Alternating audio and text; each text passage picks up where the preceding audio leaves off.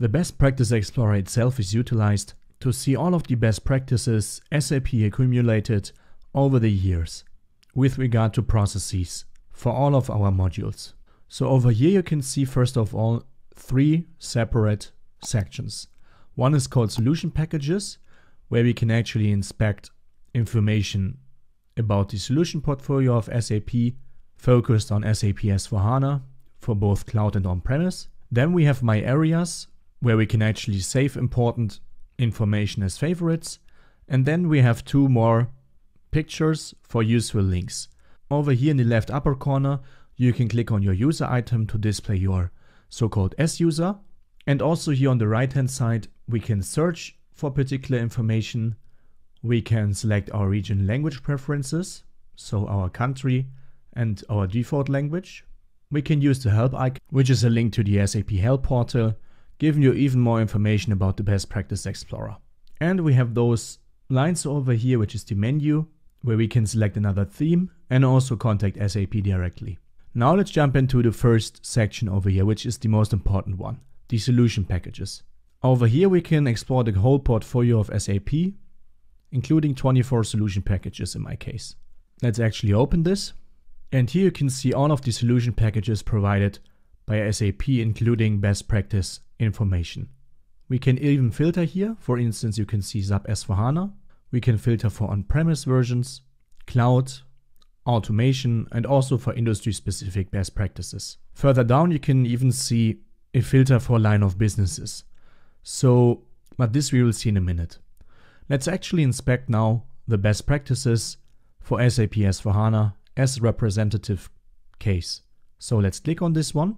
And here you can see we are forwarded to the SAP best practices says for SAP S4HANA. Currently we are in the version for Spain. We can change this version here to another country if required. And then you will see here four tabs, Overview, Solution Scope, Accelerators and Find Out More. So on the overview we can see solution information, we can actually expand this and here we will get some more information about the latest SAP S4HANA solution package which is in this case for 2022. Let's close this again. Then we can also see the software requirements that are needed for this version, which would be, for instance, a SAP HANA server on the feature pack stack 00. And then, most importantly, if we navigate to solution scope, we can see that the best practices are grouped in so-called lines of businesses. So there's a line of business for finance, one for human resources, sourcing and procurement, and so on. You will always have a little description over here. And we can actually expand. Let's do it for finance. You can see there are a couple of subgroups that are logically put together. We can even go further down.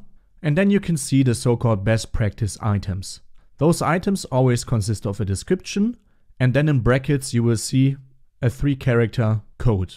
Before we jump into that, one more hint, let me actually close this view over here we can also change the view from this group perspective to a best practice perspective via this button. So now you will only see the best practices directly. Let's now jump into one. So this one I already opened. You can see accounting and financial close J58. Here the description. This scope item provides a comprehensive overview of external accounting and accounts. We can view over here the business benefits and the key process flows which would correspond to the applications in our Fiori Launchpad. Then we can see for the country and region relevance for which countries the scope item is relevant. And then most importantly, you can see on the details section, first of all, the process flow. You can see process flow, it says here two times because one is like a basic picture and one is for BPM N2, but this is kind of more or less the same, it's just another way of displaying. Let me actually show this. And here we are able to see the process flow of this best practice so in this case for accounting and financial close, including all the necessitated steps from maintaining master data up until the synchronization of general ledger account master data. Going back, we also have the test script. Let's open this in another tab. You can see it downloaded over here as a Word file. And over here you can now see the test script. So what you normally would do is go through the test script. It always is kind of the same. You can see this is a very big test script. So it starts with the purpose and once the scope item is activated, we can actually test this in the system with this test script. Then we have here kind of prerequisites. So we got system access that will be required. And we also need to have those particular roles here assigned to our user. Then we always have master data and organizational data.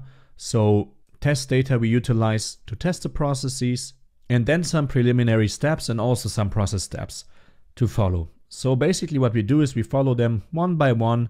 For instance, here we open the application migrate financial statement versions to global hierarchy.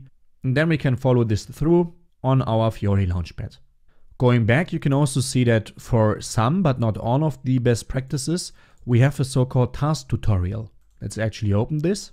And here we'll find a guided tour of what we need to do to test the process. So we can click on one of those videos. You can see that this is even more sophisticated. Let's click on managing GL account master data. Now we click on start a tutorial and then we will have an interactive tour. So let's actually skip a couple of steps. You can see to open the app, select the manage your solution tile. So I can actually click on this tile now and will be forwarded. So this really shows us in an interactive way how to configure this best practice. Yeah, and that's basically it for a first overview about the Best Practice Explorer. I hope you liked this video. Please subscribe to the channel and activate the bell.